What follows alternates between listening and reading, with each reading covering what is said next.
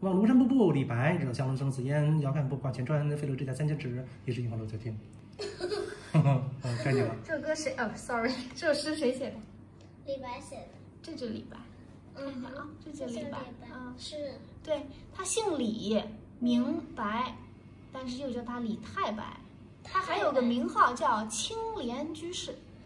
就古代人很喜欢给自己起个类似于叫什么号，就是寄托了自己的一种心愿或者他的一种情操。太白。对，李太白你。又想到太白金星了是吧？嗯，好的吧。哇哦，瀑布是什么呀？什么叫瀑布？瀑布就是一很多的水啪啦下来，哦，从那个最高的，呃从很高的地方，哇，哇下来，这就瀑布直布。接下来。哦，望庐山瀑布，唐·李白。日照香炉生紫烟，遥看瀑布挂前川。飞流直下三千尺，疑是银河落九天。嗯，这人大概是李白吧？他站在这儿，然后看这个庐山的瀑布，是吧应？该是李白。嗯，日照香炉怎么会生紫烟的呀？你觉得？紫烟，嗯，哦，紫烟就是，嗯，就是一些 waterfall 是是有一些 mist 的，确实有一些。可能是在烧烤，嗯烤串儿什么的啊？那是什么呀？我给你解释一下啊。嗯，我说的就是啊，这就是一些那个 mist，就是一些有雾啊。哦，水蒸气、水烟雾蒸气啊蒸腾上去了，那个水是吧？然后可能太阳一照，正好就是那会儿那个光线看过去就是紫紫色色、粉色那种感觉。感觉有点紫色，感觉有点粉粉的。对，然后遥看就是从远处看，是不是？瀑布挂前川，川是指山的意思，嗯就挂在前面那个山上。飞流直下三千尺，三千尺就是很三千尺差不多只有多高？三千一尺，三尺等于差不一米，那么就是一千米。那那差不多只有只有一个中国尊那么高吧？中国尊是多少米来的？我又忘了。那反正肯定不到一千米啊。哎，对，中国尊我记才得上次400多米吧查过四五百米。哦对，他的意思就是说，遥看那得有哦两它只是一比喻个，只是一个比喻。夸张的手法。那那那应那应该只有三个中国尊那么高啊。哟，那我还真嗯呃，一我觉得应该没有那么高吧。那它这个只是一种比喻那两个中国。尊那个还是一个中国尊再再加半个中国尊，中国尊。就是一千米的话呢，应该是两个中国尊再多一点儿。但是在这个地方呢，它是一种夸张的手法，嗯，就是你之前学过那种啊，我已经好饿好饿，都已经快要饿死了。那个饿死了是不是？对，其实不至于真的死了，对不对？啊，就是一种很夸张。因为我看过的瀑布都是比较小的，嗯，它这个，你想一千米的瀑布那得是多高啊哎，瀑？布我好。像知道的，好像你想啊，就是咱们在中国尊的底下待，就往上看，已经是那个效果了。特别高，当时啊是、吧？你站在那个底下，其实四百米还是四千米，对你来说可能没有太大区别。就咱们站在那个特别底下，那角度都是高耸入云，就是一眼看不到底儿的那种感觉，嗯，所以他就形容了一三千尺嗯其实肯定是不到三千尺，对吧？啊，也不一定，谁知道呢？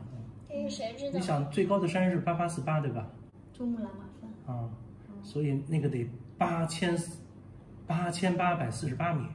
那这个山，这个瀑布真没没概念。嗯，我们有机会到庐山这块去看看，找找他们那边瀑布什么情况，好不好？嗯哼，对，那讲真的，小时候那个老师教的时候都说它这是一种比喻，夸张。那它到底多高呢？是的，也没人去研究。而且那个时候的庐山的瀑布有多高呢？对吧？而且是啊，庐山的瀑布是只有一块儿吗？嗯，不知道。嗯，疑是银河落九天，银河是哪儿啊？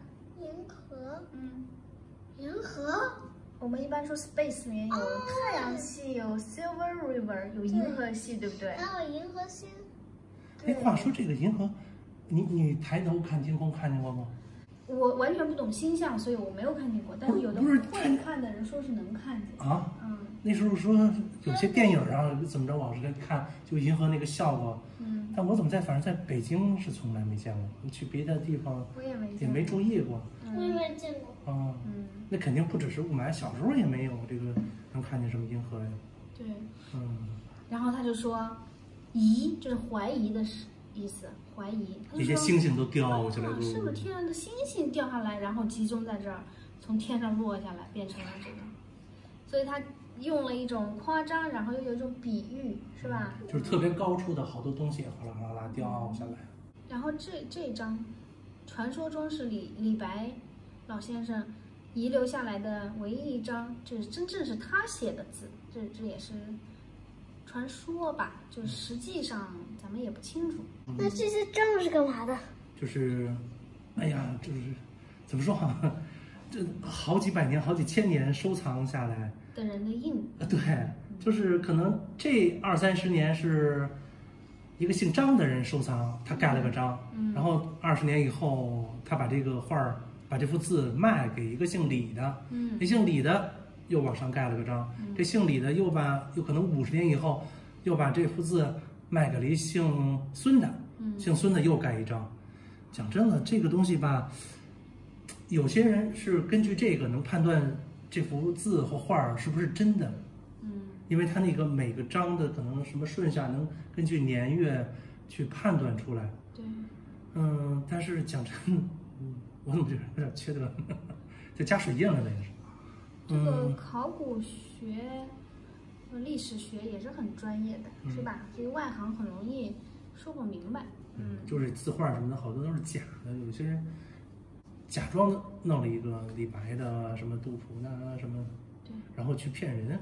啊，之前去四川不是还去杜甫草堂，对吧？对嗯但那时候你可能没有感受。那时候他不喜欢。对还有那个三国，哦哦，那个诸葛亮的那个叫什么？诸葛祠堂，啊，对对对，他就想赶紧出来。嗯，对对，那些东西看着什么关羽啊、张飞啊，因为这从他的情感上是没有连接的，对对对对他如不知道那是什么。那时候他没看过三国，现在看过《西游记》了。比如说去下次去一个什么，关于孙悟空的，对对对对，就孙孙悟空变的那个小庙进去，那你就特有兴趣了。或者去大闹蟠桃园，咱们到时候，嗯，嗯，有兴趣吗？是要有连接。嗯，好的，这是我。其实今天现在就想去了。这个孙悟空的主题公园还真不知道有没有，还真是没有人做哦，《西游记》的。也就什么大圣归来啊，弄得挺火，也许以后会有相应的吧。好的，像迪士尼啊什么的，你又特别没兴趣。希望我们以后再看一些《三国演义》相关的，然后再读一些关于三杜国演杜甫写的，诗，我们再有机会再回去，是吧？嗯那个北京好像去年年底吧，造了一个什么古诗的一个文化的建筑建筑群，还是一个主题乐园，就是各种古诗的里边出现的景啊，还是什么的。好像有这个印象啊啊，对对对，如果《西游记》弄一个主题乐园就好了，那水平有限，所以好多弄好多那个什么模型啊、什么设施啊，弄得都特糙。它不像那个迪士尼，它那个做很多东西都做得挺精的。但相信，嗯，再过一个多月，很多人才会有发展的机会，有发挥的机会，然后很多中国文化的东西就能做得更好一些。